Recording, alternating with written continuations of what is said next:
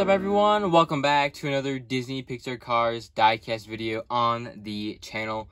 Hope you guys are all enjoying your day. Welcome back.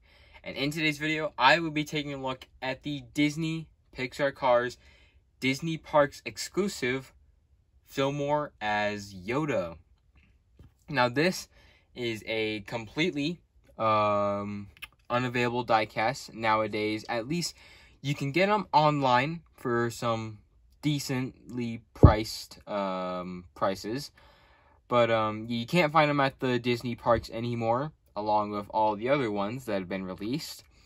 But very, very nice. I am really happy to have acquired this guy as a gift to me from my dad. Uh, pretty much an early birthday uh, gift is what you could say it is. So, very, very nice. Um, I actually got this guy as of today, um, as of the time I'm filming this, yesterday at Colorado Diecast. They just recently restocked all their cars and they got so, so many new characters in that I haven't gotten yet. And I just, I am really hoping to get back there soon in order to acquire some of these newer, or older new characters that I haven't gotten yet. Um, if you guys have seen some of my past videos, you can see that this year for me has definitely been a Star Wars diecast year. I've found so many of these characters, um, at least in terms of my collection. Like in June, actually all from the summer until now I've been finding them. Uh, from June, I found the Boba Fett Chick Hicks diecast release. And then not long after, in July, I found the tractors as sand uh, troopers.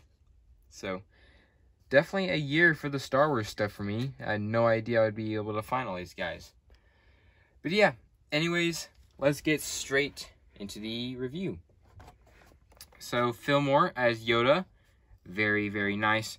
Really nice looking diecast. You can see it's the same little kind of sticker on the little plastic piece.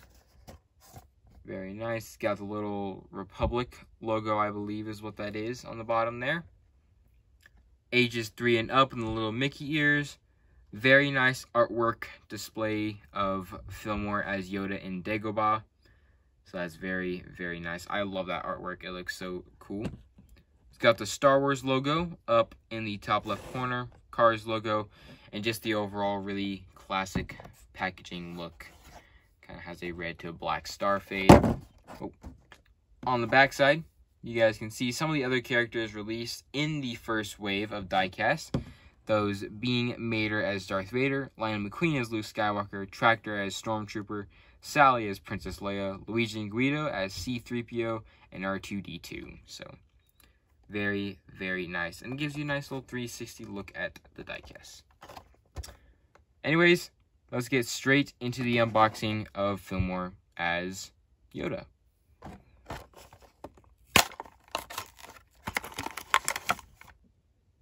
Alright everybody, so here we got Fillmore as Yoda right outside the package. Very, very nice diecast indeed. Anyways, let's not waste any more time. Video's already gone by a lot. Let's get straight into it. So, Fillmore as Yoda, very nice diecast release. A really good looking diecast in my opinion. Let's get straight into it. So of course, this diecast is the normal Fillmore model. You know, he's the Volkswagen um, diecast. Very nice. This time, he doesn't have, I mean, he has similar color scheme, but he doesn't have any of the little stickers, logos, paint job, or anything like that on the diecast. And there are many different differences on the release.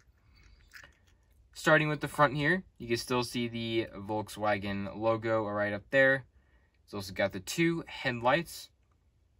His eyes have a darker shade of green, which are um, kind of in like a squinting form. Since Yoda is at old age, that's kind of when they went for, for the Fillmore diecast. You can see a little bit of the mouth there with the kind of unpainted spots with the little indents. On the bumper, you can see the front license plate, which isn't really a license license plate, but more of like uh, circles and two lines.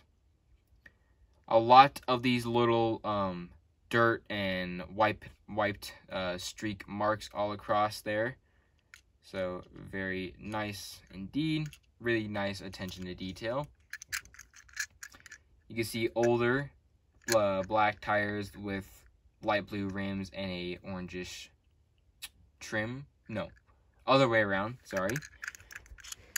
Very nice. It's got more of the little uh, dirt mark and stained um, wipings all across.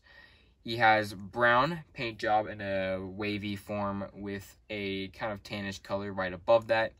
Similar to what the Jedi robe looks like. So I'm, I can really tell that's what they were trying to go for for this. Very, very nice. Same on the opposite side here as well. These are even some stains all across the windows. So that's pretty cool. Nice little details, even across the window bars and whatnot. On the very back here, you got more of the stains and a continuation of the robe colors. He even has his little license plate there with the little Star Wars language, or I guess, yeah, like however the way that they write their letters and how they all look is basically what they wrote down for his little license plate there. So that's very nice. Look on the base here. 2013 Disney Pixar made in China with this little uh, date code right there. Very, very cool. On the roof of the diecast is the same darker shade of green as his eyes, maybe a little lighter, and it's in like a nice kind of retro-ish kind of grid form where they're spreading out from in and outwards with even more of the little stains. Other really cool details, he's got the little Yoda ears on the side. They are little plastic, I mean rubberish pieces, so they are kind of bendable. Very nice with more little stains. Very, very cool. But yeah, anyways, that'll do it for today's video on the Fillmore as Yoda. Thank you guys so much for watching. Really hope you guys enjoyed it. Leave a like on this video, hit the subscribe button, and I'll see you guys in my next one. Bye!